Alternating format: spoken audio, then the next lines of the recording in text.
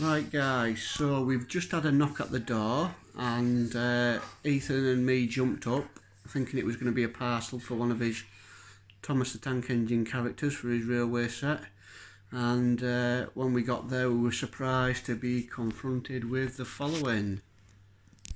Right. If you want to come in a voluntary basis, that's no problem. If not, it's up to you. So ask you if you want to come in voluntary to our police station. Yeah. For the police taped interview. Right. Yeah, I'll, I'll, I'll pass upon that, yeah. Right, no problem. Um, so that's in a voluntary basis, no problem. So just have to say to you that reporting you for any harassment offences in relation to that incident in October with CCTV vans. Mm-hmm. All right, so you don't have to say anything. My arm defence, you don't mention now. Something which you later on in court, anything you do say may be given evidence. Right, I don't know if you've been in this position before, but ultimately, so we put everything down, the information on the case file, CPS make a decision, if or anything happens, then you'll find out by letter then. You just right. come invite you to come in to put your side across about any other offences. That's why I came to speak to you. Right, no, no problems. I'll leave it at that. All right, then. Cheers. All right, take care yourself.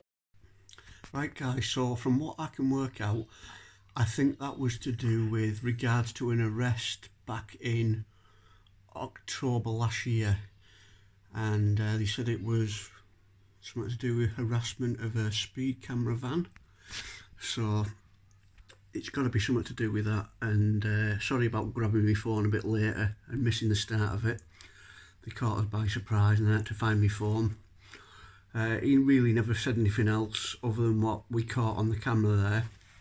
Just asking about coming in and having a voluntary interview. Um, obviously, I declined it.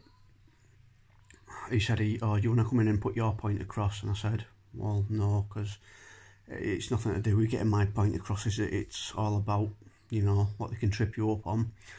So and there you go. So i'm going to be waiting for a letter in the post to see what comes of it. Again i'll keep you posted on that one. And i've still actually got the video. I was supposed to be waiting till all, all this was over with and the um, court case if there was any was over and then i was going to post the video.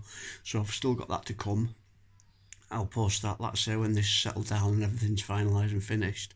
And in the meantime, I'll keep you updated on this latest development here with these these coppers. So, anyway, like I said, I'll drop you another video on Saturday, a full-length one. And we'll go and visit RAF Dishforth. So, right, catch you later, guys. Have a good night.